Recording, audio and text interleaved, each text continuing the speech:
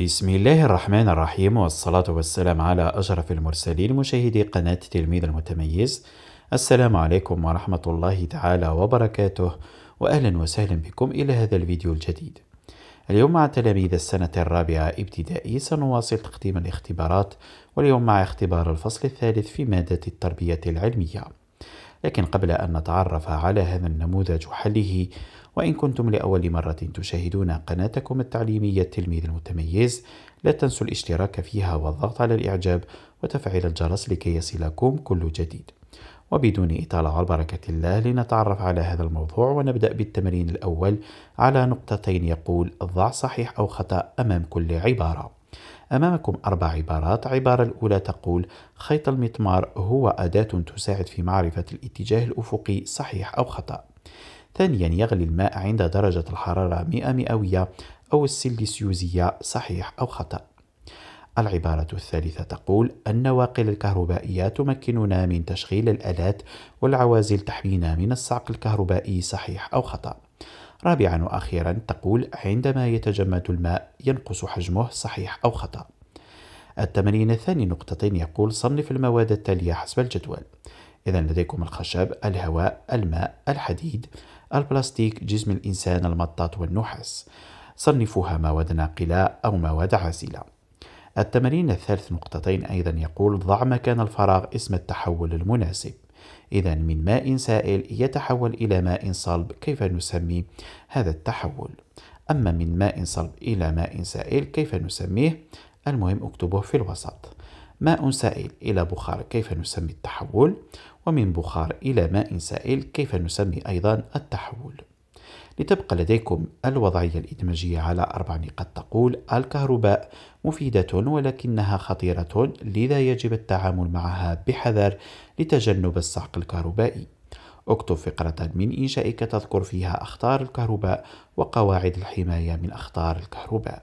إذا الآن وبعد ما تعرفنا على هذا النموذج ما على التلميذ إلا أن يجيب لوحده أولا على كل التمارينات لكي يعود إلى هذا الفيديو لاكتشاف الإجابات الصحيحة معي.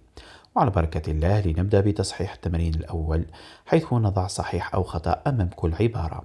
والعبارة الأولى تقول خيط المطمار هو أداة تساعد في معرفة الاتجاه الأفقي.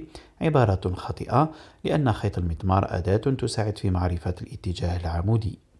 ثانيا يغلي الماء عند درجة الحرارة 100 مئوية أو السلسيوزية عبارة صحيحة. ثالثا النواقل الكهربائية تمكننا من تشغيل الآلات والعوازل تحمينا من الصعق الكهربائي أيضا عبارة صحيحة. ورابعا أخيرا عندما يتجمد الماء ينقص حجمه عبارة خاطئة لأنه عندما يتجمد الماء يزيد حجمه. إلى تصحيح التمرين الثاني أين نصنف المواد التالية حسب الجدول؟ ونبدأ بالخشب هي مادة عازلة للكهرباء. الهواء أيضا مادة عازلة.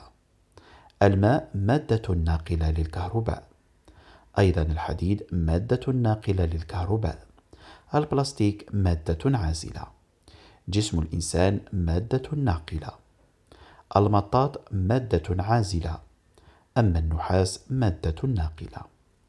إلى تصحيح التمرين الثالث أين أضع مكان الفراغ؟ اسم التحول المناسب.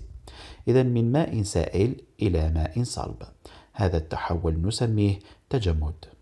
أما من ماء صلب يتحول إلى ماء سائل هذا نسميه بالانصهار. من ماء سائل يتحول إلى بخار. هذا التحول يسمى بتبخر. أما من بخار يتحول إلى ماء سائل نسمي التحول بالتكاثف. أما الآن نصحح الوضعية الإدماجية فنجيب عن هذه الوضعية. كالتالي الكهرباء مفيدة كثيرا في حياتنا اليومية ولكنها خطيرة جدا حيث يمكن أن نصاب بالصعق الكهربائي. لذا يجب التعامل معها بحذر كبير ولتجنب ذلك علينا اتباع قواعد الحماية من أخطار الكهرباء منها. منع الأطفال من لمس المآخذ وحماية هذه المآخذ بغطاء عازل سواء من البلاستيك أو المطاط. إضافة إلى مراقبة أسلاك التوصيل وعزلها بالشريط وعدم استعمال الأجهزة الكهربائية في الأماكن المبللة بالماء.